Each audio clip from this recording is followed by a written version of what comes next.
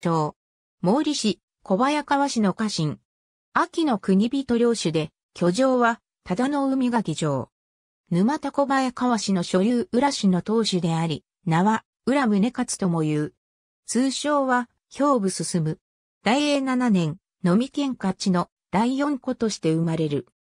父は、浦本康の養子であったが、元は、小早川高志平の弟、絶景から始まるのみしでのみ公平の弟にあたり、そのため、宗勝は、のみ姓を名乗った。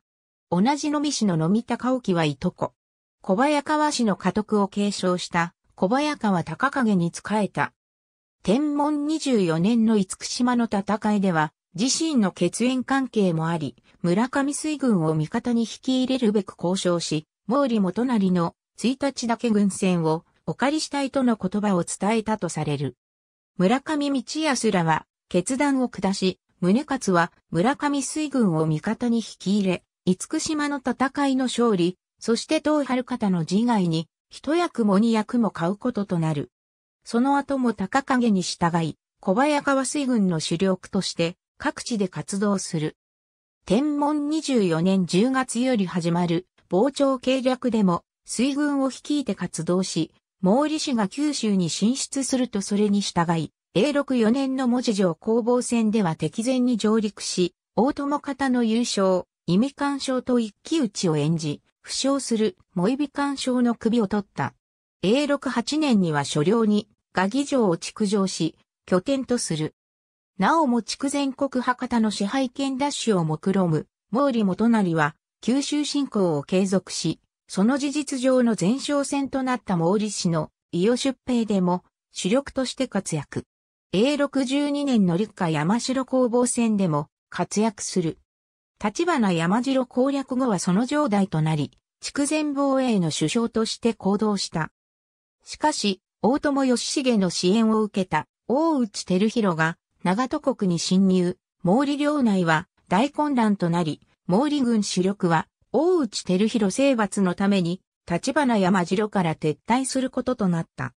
わずかな兵と共に殿として立花山城に残った宗勝であったが、翌永禄13年に開城し、と時関連に城を明け渡した。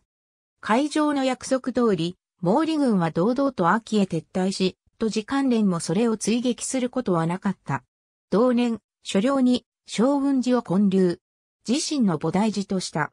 天正3年は、備中国へも転戦し、ここでも主力として活動している。上野隆則が守る備中城山城を攻撃した際に落城寸前の城内から鶴姫が34人の次女を率い、自ら出陣して猛攻を仕掛けた。そのあまりの突撃に毛利軍も驚いて改装した。宗勝は鶴姫に見つかり、良き相手と勝負を挑まれたが、女とは戦えぬと説得。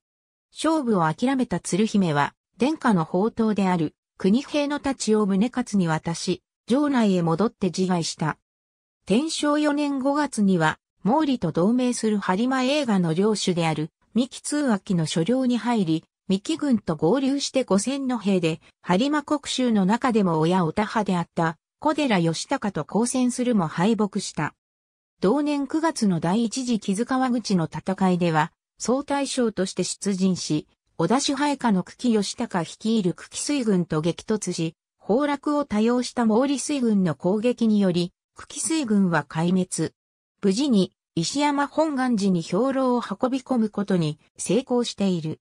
しかし、天正6年の第二次木津川口の戦いでは、鉄鋼戦を使用した久喜水軍の前に敗北を喫した。天正7年に別所長春が籠城する三木城への兵糧搬入を成功させている。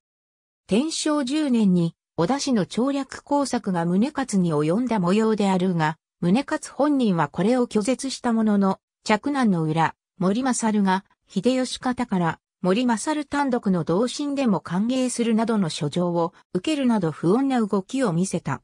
主君の小早川高影はこれに素早く反応し、同年に森勝は急死している。暗殺説も囁かれる謎の死であった。